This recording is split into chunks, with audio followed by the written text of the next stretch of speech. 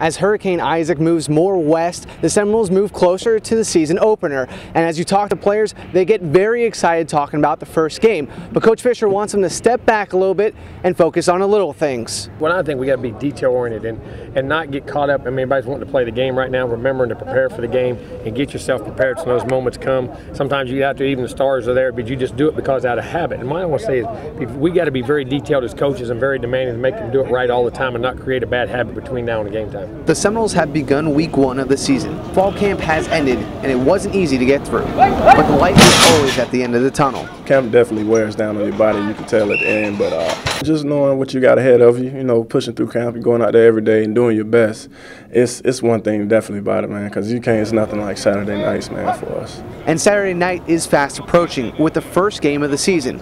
Murray State will face the Seminoles with a 6 p.m. start time, and although the Racers are from the FCS, the Noles know they need to stay on the gas. We definitely have to make a statement, you know, no doubt about it. We can't just go out there like, oh, this Division One AA team. We can't do that. You know, we have to go out there full speed ahead, you know, playing them like we're playing against one of our top rivals, you know, and, and we got to do that every game, you know, no letting off. With that mentality, the defense has expectations of their own leave opponents coming out of Doak with nothing to show. It's not an easy thing to do, but you know, it's, it's, something that we really focus on, something we take very seriously. You know what I mean? This is Doak. We want to set an example in Doak that people aren't going to come up here and they're not going to put points on the board. And, you know, that's what we're going to try to accomplish every week. Now, take a look at these sweet cleats. The Seminoles will be sporting these come September 1st when they take the field against Murray State. Make sure you get your tickets for the game. You can get them right here at Seminoles.com or at the ticket office. Call 188 FSU Nole.